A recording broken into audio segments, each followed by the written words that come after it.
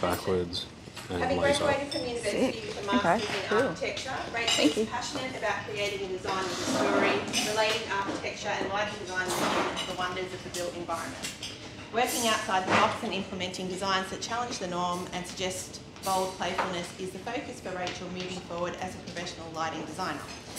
Rachel moved to Newcastle three years ago after growing up in the country and living in Canberra. She has a boyfriend named Luke, a dog named Fe- Feeder, Feeder. feeder, two parents, four brothers, 12 sheep, and a thousand cows.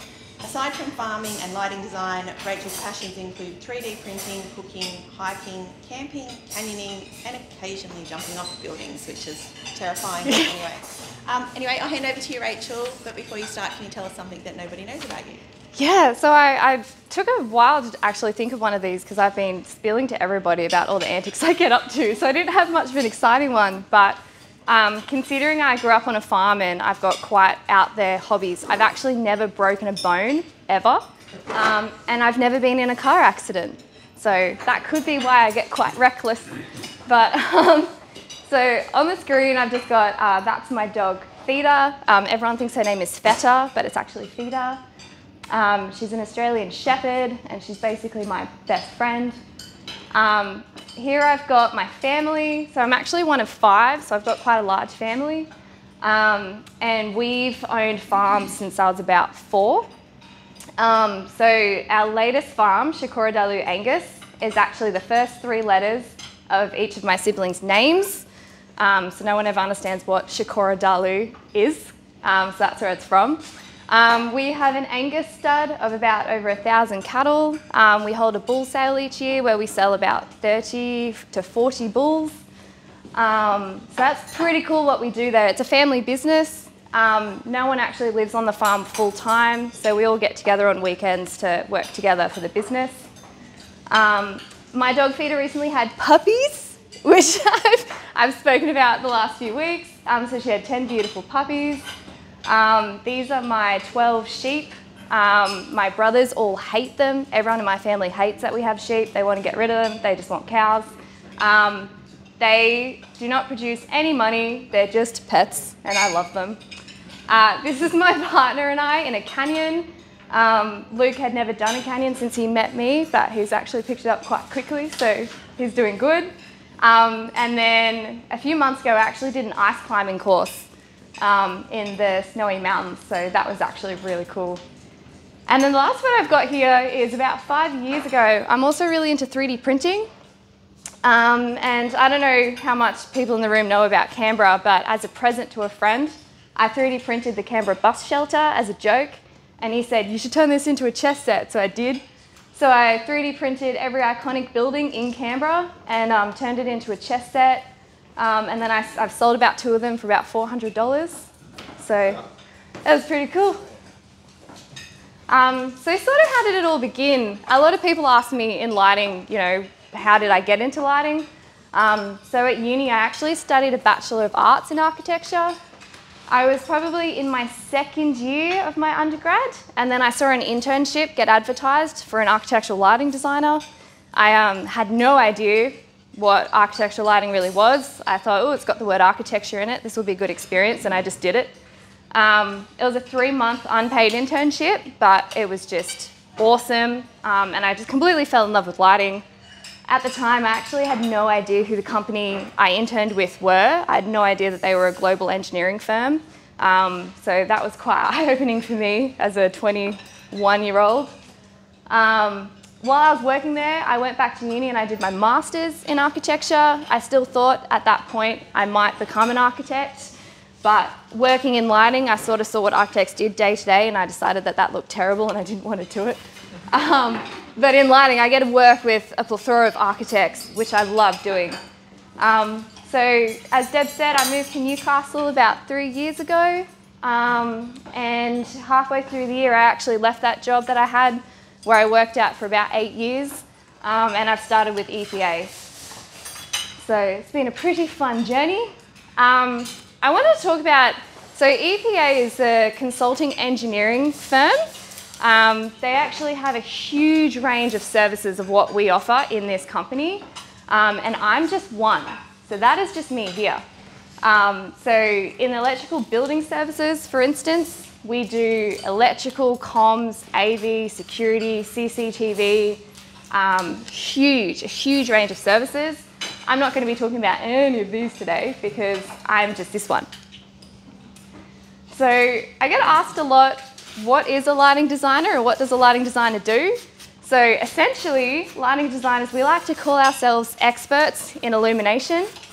So really what we do is we try to enhance the experience of a space um, and we try to do this by really enhancing the architecture and the interior design. For us, it's not just providing downlights and allowing people to be able to see through the space. We actually want to create an experience um, we also design lighting for all inhabitable spaces.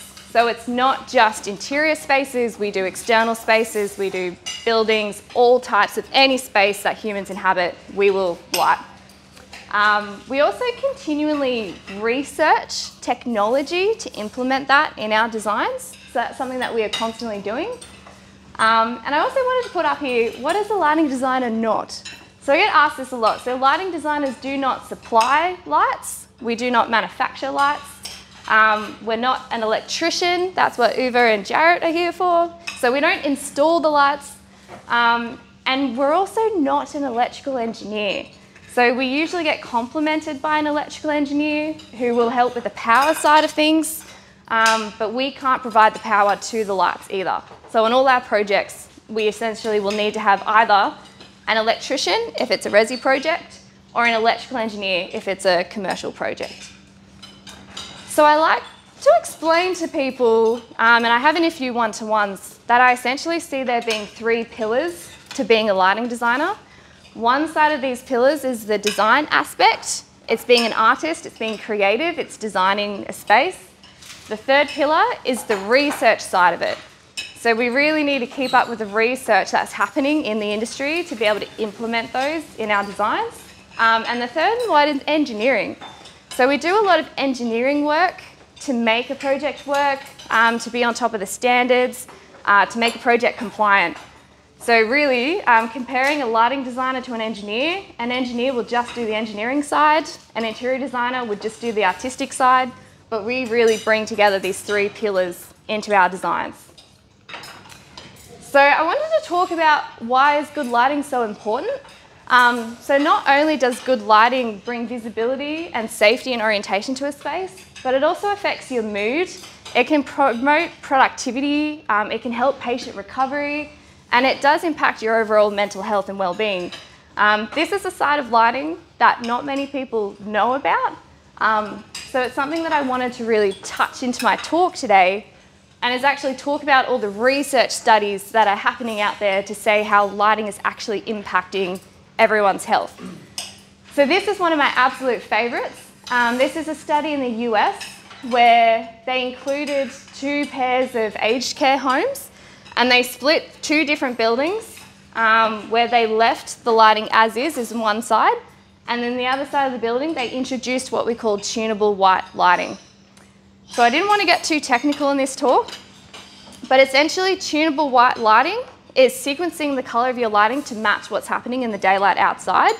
So in the middle of your day, the artificial lighting is to be a quite cool white color temperature, matching your sunlight. And towards the evenings, it actually tunes down into a warm color temperature, which is like your afternoon sun, where you're meant to relax. Um, I believe was it Nora who was talking about melatonin pills? Um, so essentially what lighting does is having that warm color temperature is what rises your melatonin levels and tells you to sleep. So this is what's activating your body's circadian clock or circadian rhythm. And has anyone, has anyone in the room heard of a circadian rhythm before? Yeah, perfect. So um, essentially this research study was activating that circadian rhythm, helping patients sleep better at night and be more alert during the day. So what happened was there was a 43% increase, uh, decrease in the amount of falls that were happening in this aged care facility due to the lighting, which is awesome. Uh, this study is also in the US, the Heschong Mahone daylighting study. So this included 21,000 students in an exam situation where they basically undertook an exam in poor lighting and then undertook an exam with lots of day lighting. And they found that they were 20% faster in doing their maths test. They were 26% faster in reading. And they also had a 5 to 10% increased performance if they were closer to the windows. Um, this is also one of my absolute favourites. Um, this is a neonatal care ward. Um, so they found that in hospital wards, the lighting is just on to crazy bright levels 24 7. So they looked at how this was actually, actually impacting prenatal infants. Um, so they started implementing a light dark cycle. So at night time, they actually covered, they put this cover um, over the infants, and they found that, and they had 41 preterm infants in either cycle, um, and they found that there was a greater rate of weight gain, um, there was a decreased time spent feeding, um, they displayed enhanced motor coordination, and they started to develop their daily melatonin rhythm, which also meant they had shorter hospital stays. Um, I'm a bit short on time, so I think I might actually skip that slide. But I wanted to quickly talk about a few projects that I've worked on, a few of my favourites. Um, this one is a childcare centre. Our um, concept was to create an indoor-outdoor play space. Um, so our brief was to basically design lighting to look like the outside sky.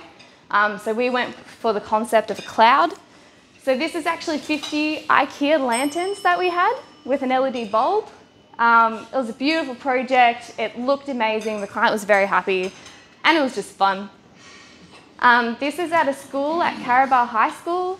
Um, again, instead of using downlights, we just looked at ways to um, be quite playful with the lighting. Um, I just love the design on this project. Um, this is one of the first projects I ever worked on as a lighting designer, and I would say this is probably what really got me hooked in the lighting industry. this is the Canberra Casino. And what we had is we had strips of blue and white LEDs behind each of these triangular panels. And during the day, it would just change colour from blue back across to a warm white. And when it sort of mixed halfway in between, it just looked awesome. Um, this is at the old Parliament House in Canberra. Um, one of my favourite aspects of this project was the fact that we retrofitted these heritage um, pendants. Um, we had, it was quite interesting working with Heritage because we had these old lamp holders that held the old halogen um, lamps in them. Um, and it was going to be quite hard to get a uniform light in the ceiling if we were going to have all these rusty arms. So we managed to negotiate with Heritage to put the lamp holders on a Heritage shelf. Um, but it's just a beautiful outcome and it was just incredible being able to work with such amazing Australian heritage. Uh, so my ideal referrals and clients, um, the top ones are always architects, interior designers, landscape architects, um, but project managers, property developers and homeowners are also great referrals for me. Um, I've also got sort of a second tier, which is less common for us, but um, introductions to builders, electricians and councils also go a long way. Um, so yeah, any of those would be perfect. And that's me today, so thank you.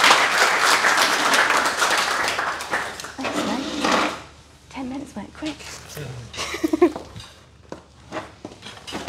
Alright, so now we're on to the iHubs where um, each of our members will use this as an opportunity to partner to, to